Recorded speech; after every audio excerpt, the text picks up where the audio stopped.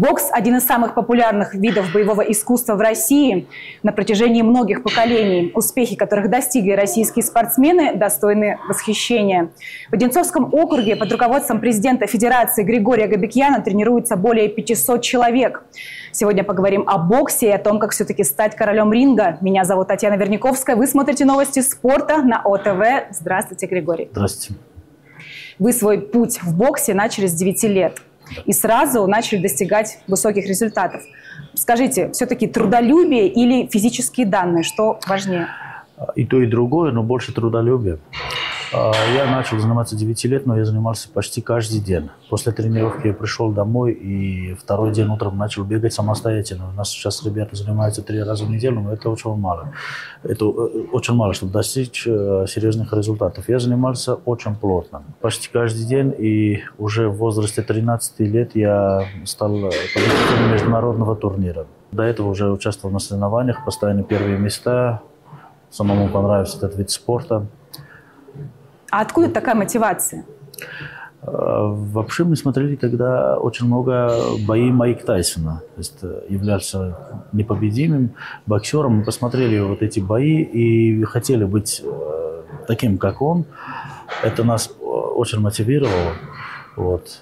Ну, как бы и плюс родители настраивали, и тогда это было 94 год, в принципе, ничем другим не, мы не могли заниматься. Как сейчас ребята играют в телефонах и так далее, тогда не было. Тогда просто школа и спорт.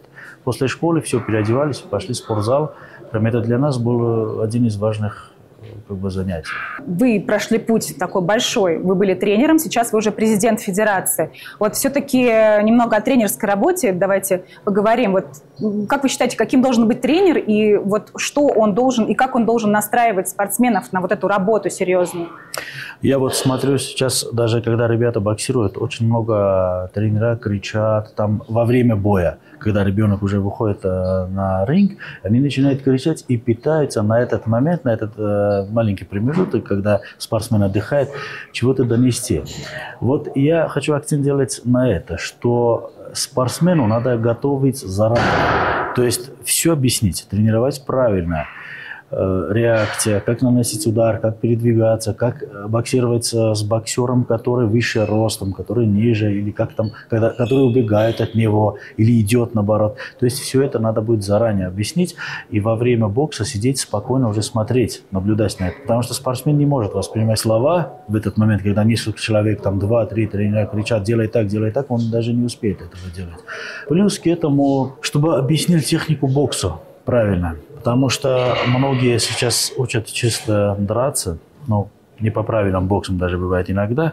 Я хочу, чтобы было точ, э, точно поставленная хорошая техника, чтобы спортсмен мог работать э, и на ногах двигался хорошо, и удары наносил прям четко в цель. Вот. Ну, психологически еще должен понять спортсмена. То есть он приходит в зал, у нас занимается очень много детей и взрослых, и каждый занимается в том формате, который подходит ему. А, я лично сразу вижу данные, есть этого спортсмена или нет. И таких опытных тренеров в нашем округе есть. Ну, кто-то занимается для себя, можно как-то заниматься на скакалке, на грушу, там, там, на снарядах работать. А когда видим перспектив в ребенка, там уже надо делать другой акцент. Там уже надо чисто организовать э, более таких серьезных соревнований. Э, я как президент Федерации возглавляю уже с 2020 года, и несколько десятков раз мы в Одинцовском округе провели э, соревнования по боксу разного уровня начиная от соревнований для новичков, заканчивая чемпионатом э, округа. И вот наш... давайте как раз об этом да. подробнее здесь остановимся и поговорим о вашей уже работе как президента федерации. Да, какие мероприятия проводятся, какие соревнования. Расскажите об этом. Значит, как минимум 10 раз в год в Одинцовском округе мы проведем соревнования разного уровня ребята, э, ну, для тех, кто новички, кто только пришли занимались боксом 2-3 месяца, а, и, а также заканчивая чемпионатов Одинцовского городского округа. И наши ребята сейчас уже выступают на, самого, на соревнованиях самого высокого уровня. Две спортсменки в этом году именно в 2023 году участвовали из Одинцовского округа на чемпионате мира. Одна девушка, Екатерина Фролова, заняла первое место, вторая – третье место. А также девушка из нашего округа заняла на Европе второе место.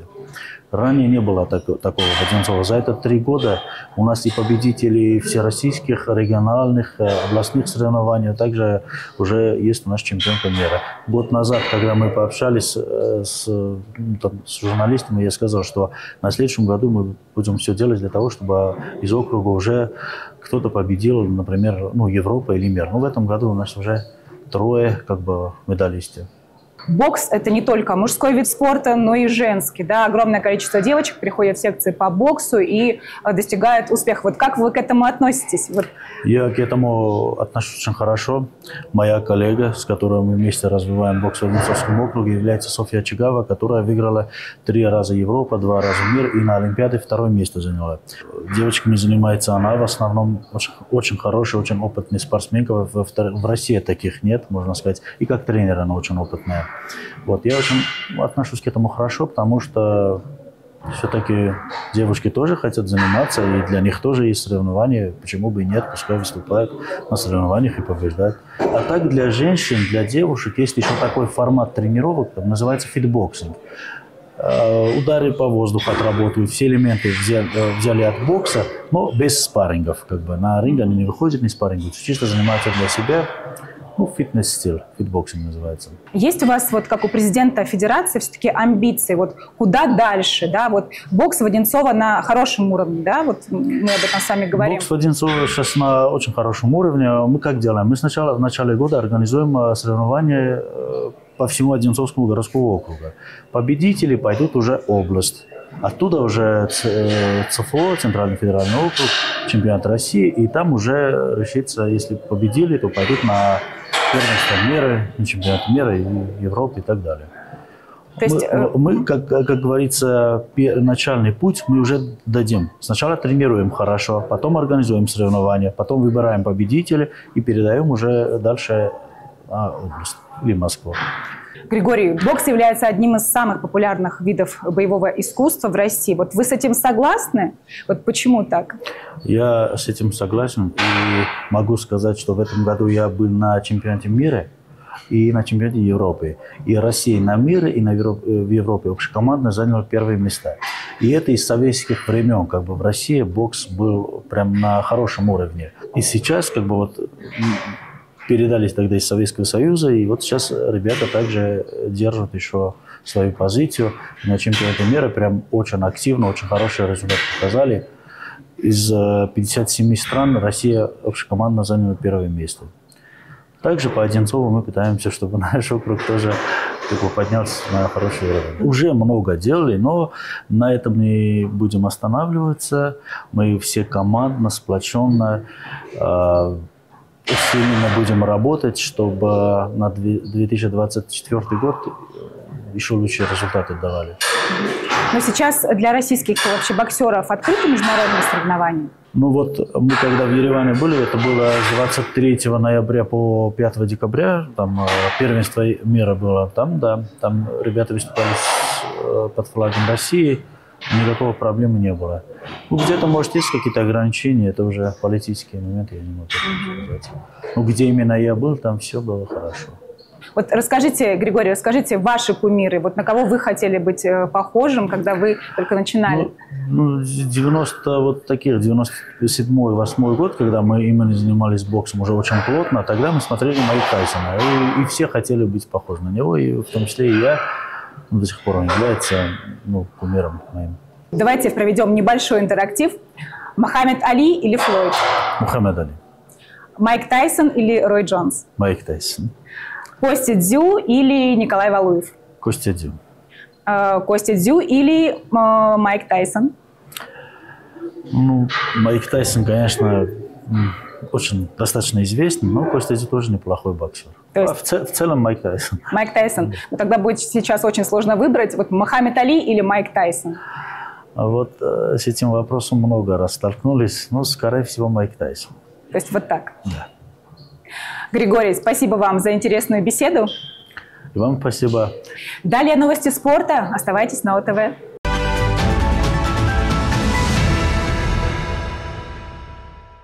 Первенство мира по боксу проходило в Ереване. 470 спортсменов из 57 стран. Бороться за звание лучшего приехали сильнейшие представители. Екатерина Фролова из Одинцова обошла соперниц из Казахстана и Венгрии. Была просто огромная радость, а чувство какого-то победителя, вот этого ничего не было, и по сей день нет. Ты выиграл, ты очень рад, доволен своей победой. То, что у тебя есть такое звание, было прям крупно, масштабно, ничего не изменилось, ты также тренируешься, также общаешься с девочками. В финале первенства мира пришлось максимально собраться. Соперница из Узбекистана была нацелена только на победу. Провоцировала и вела себя агрессивно, но одинцовская спортсменка уступать тоже не собиралась туда все приехали в смысле убивать, там, выигрывать, потому что для всех это очень много значит. Но меня тренер научил спокойствию, хладнокровию, чему я очень благодарна. Давай, давай, вот, вот, вот. Чуть кулак доверни, открытый не бьет. Хорошо, ногу поворачиваем. Что такое олимпийское спокойствие, Софья Очагава знает не понаслышке. За ее плечами победа на чемпионатах мира и Европы и, конечно, Олимпийских играх. Сейчас девушка не только действующая спортсменка, но и тренер. Самое главное лично для меня, да, это чтобы мы вырастили достойных людей, да, то есть чтобы ребята и девчонки были порядочными, хорошими там, членами общества, ну, чтобы мы гордились тем, что мы вырастили хороших детей, и это достойные люди, это очередь. Если у нас получится, что среди этих 100% 1% это талантливый спортсмен, и мы это видим, конечно, мы вкладываемся и делаем возможным, чтобы наши спортсмены э, показали результат. Медали спортсменов – результат работы большой команды профессионалов. Григория Габикьян возглавляет Федерацию бокса Воденцова. Под ее эгидой проходят различные соревнования и первенства. Как минимум 10 раз в год в Одинцовском округе мы проведем соревнования разного уровня. Ребята, э, ну, для тех кто новички, кто только пришли и занимались боксом 2-3 месяца, а, и, а также заканчивая чемпионатов Одинцовского городского округа. И наши ребята сейчас уже выступают на, самого, на соревнованиях самого высокого уровня. Бокс не женский вид спорта, это всего лишь стереотип, уверены одинцовские спортсменки. Свою правоту уже не раз доказали на ринге и на достигнутом останавливаться не собираются. Татьяна Верняковская, Денис Харламов, телекомпания «Одинцова».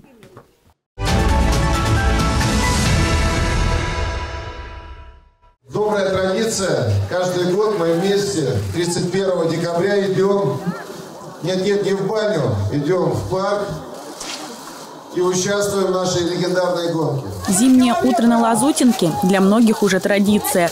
Семья Панжинских не исключение. На лыжи Артем встал три года назад и уже обрадовал своего знаменитого отца, заслуженного мастера спорта России. Самое главное, победил кого? Само себя. Вот. Самая главная победа. Мы учим именно так. Поэтому сегодня первое место, это, конечно, очень классно, почетно, но для детского спорта самая важная победа над самим собой. Легендарная манжосовская лыжная гонка прошла в 54 раз. Традиционно собрала профессионалов, любителей с опытом и новичков. Мы ждем очень много участников потому что всегда приезжают к нам и с детьми, и с семьями поучаствовать, поднять такой хороший заряд бодрости и духа. Небольшая разминка перед стартом и вперед. У каждого возраста своя дистанция. По традиции первыми на дистанцию вышли самые юные участники. Сами делаем трассу, трамбовываем, там ее бережем, вырубаем от а, веток. Андрей – любитель. С 82 года не упускает возможность посоревноваться с товарищами. Перед гонкой тренировался почти каждый день. В этом году в Манжосовской гонке приняли участие полторы тысячи человек, хотя желающих было намного больше. На финише всех ждали кубки, призы и медали. Екатерина Крамер, Денис Харламов, телекомпания «Одинцова».